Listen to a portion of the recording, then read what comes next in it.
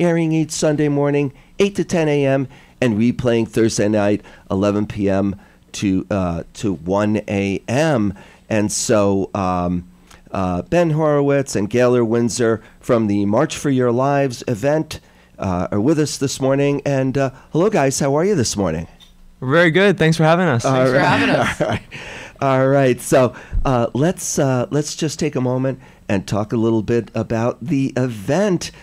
Um, how meaningful was that? I mean, the die-in and uh, Hallelujah, uh, Felixus Jinx uh, welcoming us, a past guest on my show, and you guys performing, and uh, everybody just uh, you know really excited to be there, and uh, hopefully um, creating uh, meaningful and impactful change. Uh, what was it like for you guys? Uh, yeah. Yeah, I think for both of us, it was definitely one of the most meaningful uh, events of our lives. Um, to see that many people from our hometown come out and support us uh, at an event uh, totally organized, wholly organized by young people, it was really amazing. Um, you know, I personally, I felt really supported by my community um, just amazing to see adults and young people alike coming out uh, to say that enough is enough. You know, kids need to stop dying. We need to stop giving assault rifles to people. Um, we need to stop making it so easy for people to get these guns. Um, and yeah, we need we need change. How about you, Ben? Yeah, I mean, it was amazing because we we didn't have any idea of how many people were going to show up and the kind of energy that we would get, and we just been having these, you know, pizza party meetings with 30 people, right? just trying to figure it out, and then we show up and there's 3,000 people, and it's like, well, okay. it was amazing. yeah. Um, all, all the things that we had we had planned were really communal, and we're trying to. We were playing. We were really hoping we could get as many people there as possible, and so we did. So on something like Hallelujah, it was pretty. It was pretty. It was pretty meaningful and amazing to have uh, three thousand people singing along to the chorus of Leonard Cohen's Hallelujah. Like that was that was that was pretty intense. Yeah. Yeah, to give you an idea of how shocked we were um, at the number of people, we Ben and Cheryl and I were standing up at City Hall and we were watching everyone come in, and uh, you know we, we had planned to have Flixus Jinx play like three songs, you know, because we, we figured that'd be enough time for all the people to kind of come in, and we kept looking up Main Street and just the march just kept coming, it kept coming. We are like, sing more songs, guys. And they like, we don't have any more songs, and they had to do repeats. It, it was incredible. It was truly right. incredible. Move to the right. Yeah, move to the right. exactly, Yeah, it like exactly, all crowded in by the Pulaski Park area. Exactly, yeah. Yeah, they were they were great. You know, they they were uh, guests on my show a couple of weeks ago, and they've been on in the past, and uh, um, you know, uh, really. Uh, uh, up and coming, uh, really young, talented band from you know Pioneer Valley Performing Arts, and uh, Yeah, I'm so happy that they were a part of that. And you know, so many young people, and, and you guys all running it. I mean, that was the important part. You know, Mm, Totally. No, yeah. People like Ben and Sherilyn put hours and hours and hours and hours into this march. Like you have no idea. Yeah. They we should were- have done a little more of our homework then. right, right. Well, Probably a bit ho- behind on their classes at this Hopefully, point, your but- teachers gave you a pass for uh, such a such a meaningful event. Um, yeah, and you know, uh, I teach in a middle school down in Springfield. We all uh, walked out, you know, the prior week, and um, you know, it's just it's a national movement. Enough is enough, and it's about you know. Uh, lives of uh, young people, and it's so important. And obviously, we've been failed by our, uh, you know, the powers that be. They just haven't gotten it done. They've been taking half of them have been taking, uh, you know, blood money, really, you know, money from the uh, Yeah. NRA. So uh, Totally. it's so important. I mean, it's not just refreshing and exciting. It's important, and it's it's a life or death death issue. And obviously, you guys took it that way. Now, now time is short, so uh, you've got some songs. How Heck about yeah. if we? Do you want to? Intro- yeah, yeah. So uh, Ben, do you want to introduce uh, the first song? And that is, uh, uh, what did you, what did you learn in school today? Correct? Yeah, so um so a lot of us um in the past year since the 2016 election have been kind of diving into um diving into the music of the civil rights movement. Ah, sorry, what is that? Um That's okay. That's okay. uh, but on Yeah. the whoops, um, um, but anyway, um, this song is is a satirical song, really, um, by uh, well, we heard it recorded by Pete Seeger, um, and and and it's and it's from a child's perspective. So we thought it'd be a perfect song to kick off, um, um, to expose the absurdity of the situation that we're in. All right, sounds good, guys.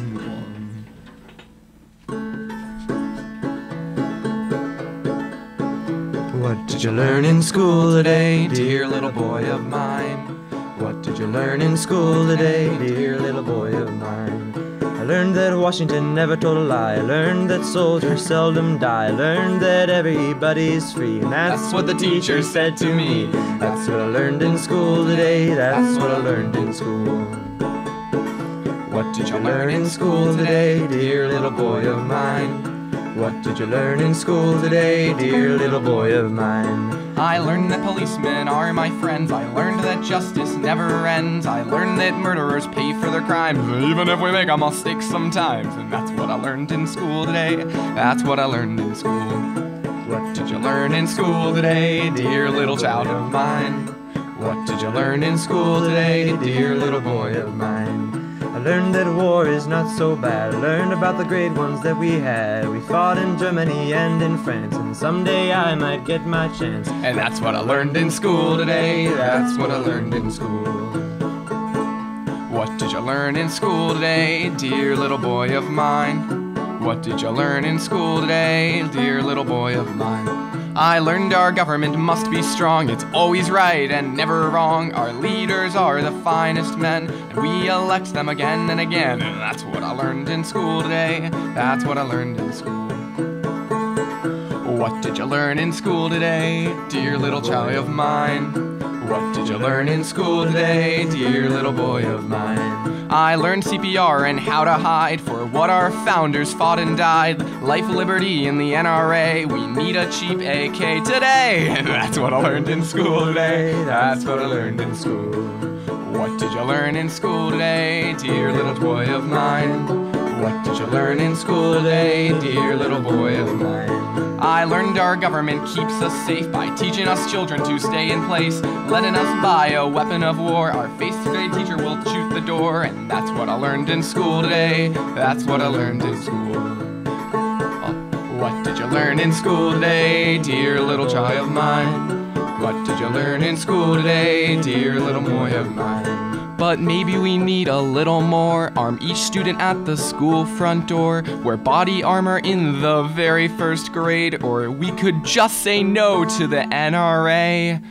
Well, that's what I learned in school today. That's what I learned in school. Woo!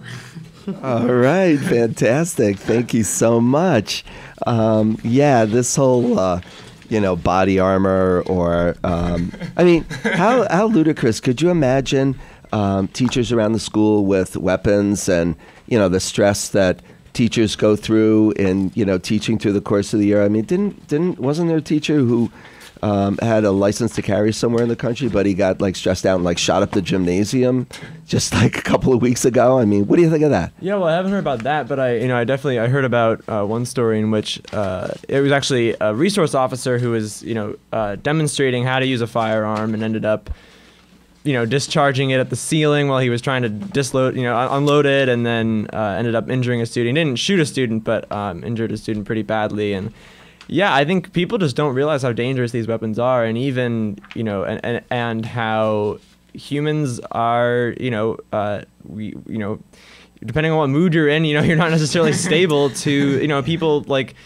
Uh, I think having a, a weapon that so easily kills and, and hurts people uh, is really dangerous, especially in the hands of people that aren't so stable. Um, and we can't always know who's stable and Good, who's good not. point. No one needs mass weapons of destruction. Yeah, No one needs yeah. these mass weapons of war. No one needs military grade weapons. Humans aren't meant to have this kind of power. Is what I think. Yeah, or like everyday Yeah, citizens aren't allowed. You know, like Yeah. I, I, you know, I, I think obviously.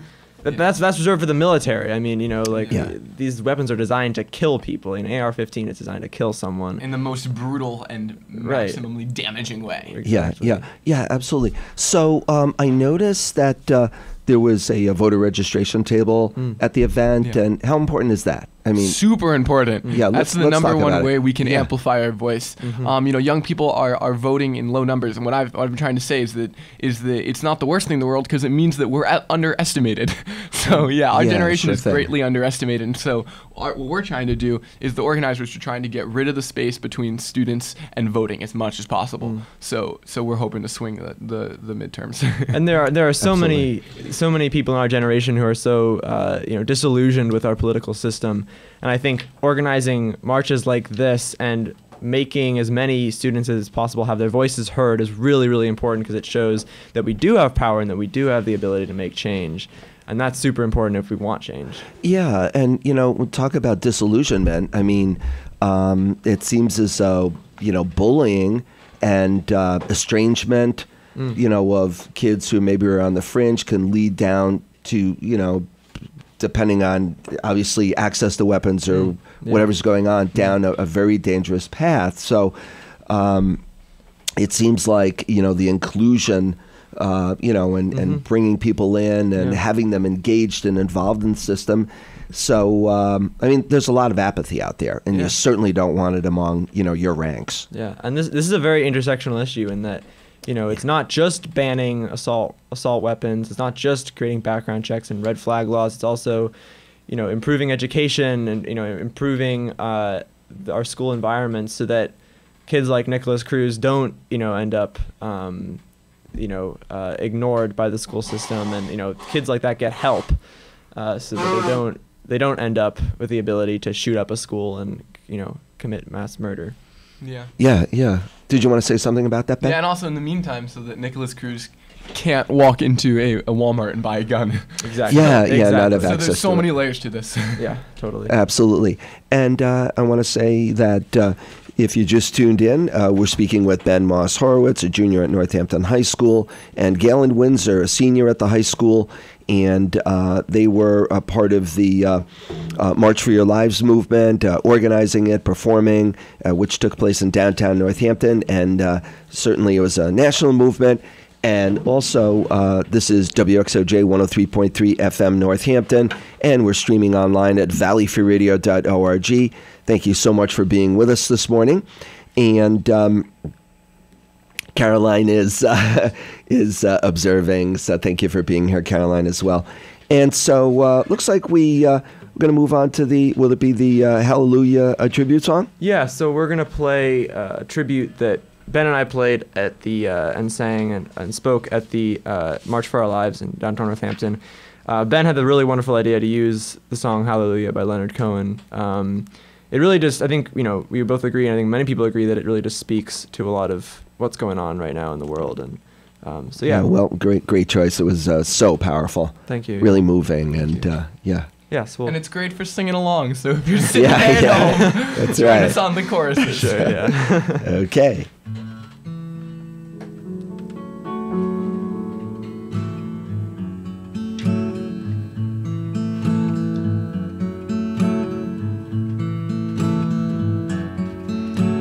I heard there was a secret chord we could sing out loud so we're not ignored, but you just started listening to us.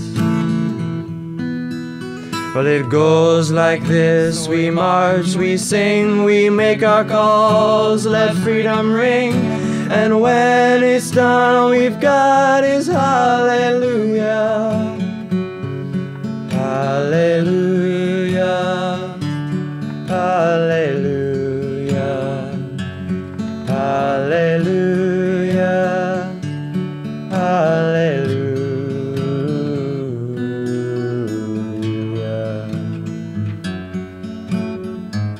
Scott Beigel, 35, was a geography teacher and the school's cross country coach. While opening the door for students to hide, he was shot and killed. Joaquin Oliver, a senior, moved to the United States from Venezuela when he was three years old and became a U.S. citizen last year. He was buried in a Dwyane Wade jersey, honoring his love of basketball. Hallelujah.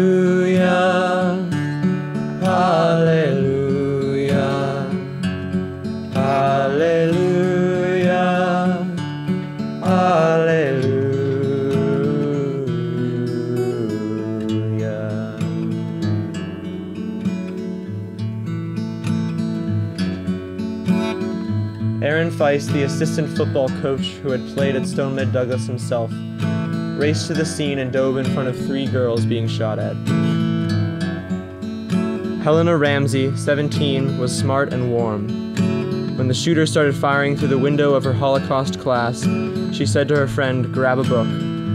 The book blocked the bullets and saved her friend's life. Hallelujah. Hallelujah. Hallelujah. Hallelujah.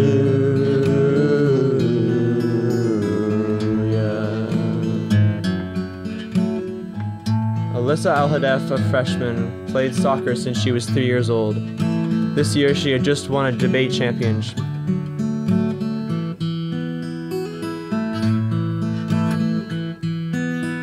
And Nicholas Dworet was a senior known as the swim team daddy for his supportive role as captain on the swim team. This season, he went from the middle of the pack to leading the team. Hallelujah, Hallelujah,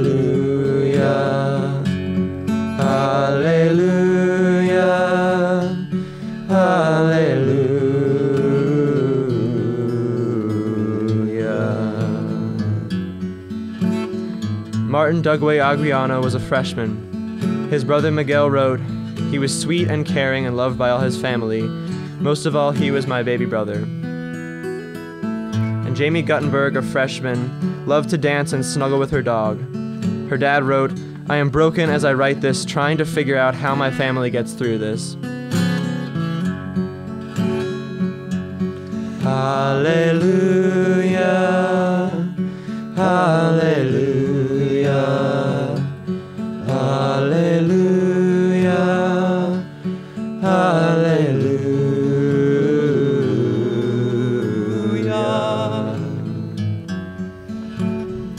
Cara Loughran, 14, loved the beach and Irish dancing. As her aunt wrote, While your thoughts are appreciated, I beg you to do something. And Chris Hixon, 49 years old, was the beloved wrestling coach and athletic director. He was described as a great man with a great sense of humor.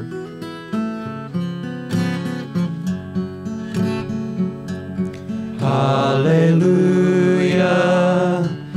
Hallelujah,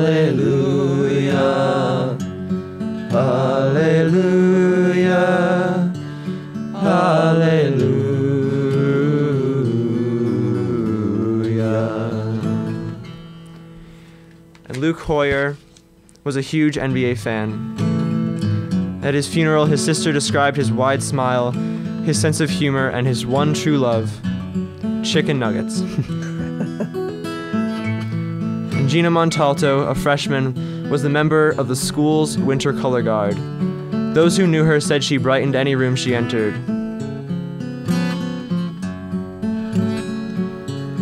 Hallelujah, Hallelujah, Hallelujah, Hallelujah.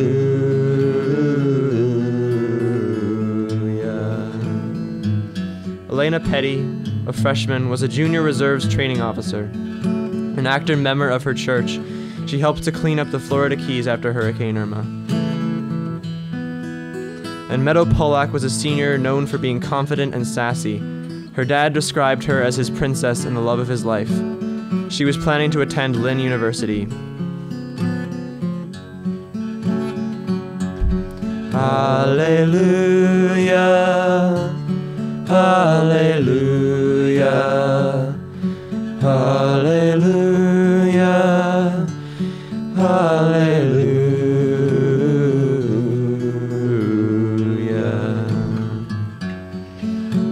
Alex Schachter, freshman, played trombone in the marching band and, and basketball. His brother wore his number 5 Parkland Basketball Club jersey at a Miami Heat basketball ceremony in his honor. Carmen Schentrup, 16, was described as witty, intelligent, and incredibly sweet. Responsible hard worker, Carmen's National Merit Finalist letter arrived on the day she was murdered. Hallelujah, Hallelujah, Hallelujah, Hallelujah.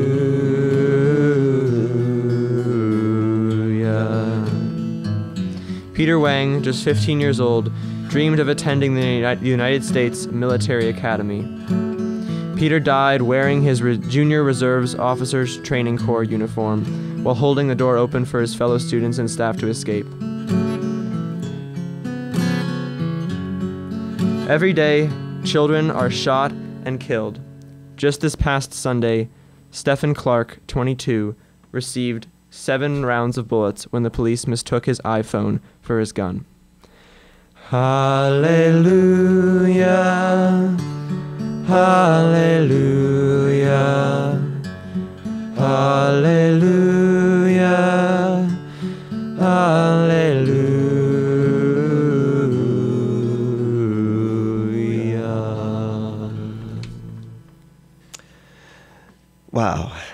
Thank you so much. Man. So, um,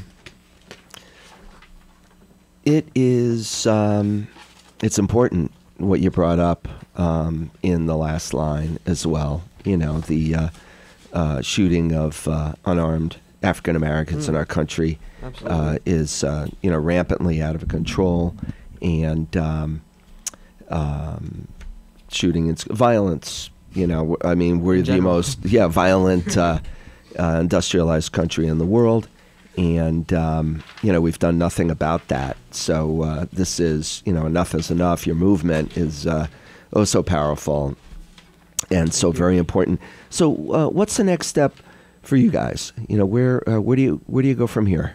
I think I'll let Ben ask, uh, answer that question. He's he's more of in the organizing department, so. Yeah, so Sure what's, what's happened after as an after effect of this march Yeah. is that all the organizers, so we had organizers around 15 schools, they were really the walkout organizers, um, and some even some kids from marches like the march in Springfield and the march in Pittsfield, we're all coming together, and we've given ourselves a made-up name, Pioneer Valley Students for Gun Control, and um, and we're gonna start meeting uh, very soon with with our adult allies as well um, to try to to try to plan next steps. So we're advocating for early risk protective orders. Um, um, on the state level, we're hoping to have a lobby day at the Mass State House, um, and we got around we got around 500 signatures uh, for that at our march. Um, but also, I, but also, I think we're I think that we could really move it any direction at this point. Um, I think we're going to attack uh, gun violence from uh, every angle, and, and you can donate uh, to us at uh, um, Pioneer Valley Students for Gun Control. Um, we have a GoFundMe, and that's been really helpful, and that's allowed us to get connected and get resources. So um, Pioneer Valley Students for Gun Control.org, right? uh, pvforguncontrol.org. Oh, PV. um, and yeah, we're get, we have a massive email chain with like 800 people, and um, so I'm excited to see what happens. Fantastic. Well, uh, that's uh, excellent. You know, so important. And obviously, you know, we talked about the, uh, uh, you know, uh, getting registered and uh, getting people registered and Yep. and getting uh, these people out of office who have uh, failed us. Absolutely. You know, so Yeah. um, so that's uh, that's so important as well.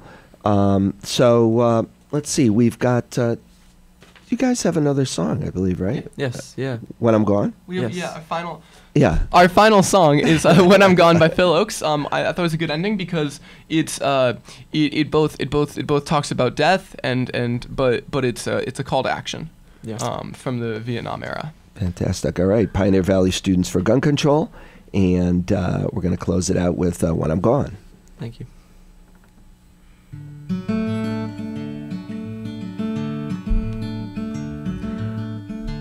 There's no place in this world where I'll belong when I'm gone. And I won't know the right from the wrong when I'm gone. You won't find me singing on this song when I'm gone. So I guess I'll have to do it while I'm here. And I won't feel the flowing of the time when I'm gone. And all the pleasures of love will not be mine when I'm gone. My pen won't pour out a lyric line when I'm gone. So I guess I'll have to do it while I'm here. And I won't breathe the bracing air when I'm gone. And I can't even worry about my cares when I'm gone. Won't be asked to do my share when I'm gone. So I guess I'll have to do it while I'm here. And I won't be running from the rain when I'm gone. And I can't even suffer from the pain when I'm gone. Can't say who's to praise and who's to blame when I'm gone. So I guess I'll have to do it while I'm here. Won't see the golden of the sun when I'm gone. And the evenings and the mornings will be one when I'm gone. Can't be singing louder than the guns when I'm gone. So I guess I'll have to do it while I'm here. And all my days won't be dances of delight when I'm gone. And the sands will be shifting from my sight when I'm gone. Can't add my name unto the fight while I'm gone. So I guess I'll have to do it while I'm here. And I won't be laughing at the lies when I'm gone. And I can't question how or when or why when I'm gone. Can't live proud enough to die when I'm gone. So I guess I'll have to do it while I'm here. There's no place in this world where I'll belong when I'm gone. And I can know the right from the wrong when I'm gone. You won't find me singing on this song when I'm gone. So I guess I'll have to do it while I'm here. All right, fantastic. That was so wonderful.